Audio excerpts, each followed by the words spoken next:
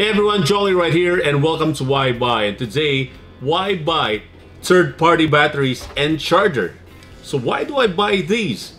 Aside from these are cheaper or affordable batteries from Watson, it has also a higher mAh milliamp hours, so which means that it has higher capacity than the original ones. It also lasted more hours compared to the original. All you need is just one wall charger. So if you're bringing around two or three cameras with you, you need one wall charger for you to charge this ahead of time and all you need is this battery mount clip. So this is a battery mount clip for my Sony camera. So all you need is a battery mount clip where you need to place this on the wall charger then you could charge this overnight. So this may come handy if you need to have a lot of batteries and it will come affordable and you only need one wall charger. So there we go. Why buy a third party battery from Watson.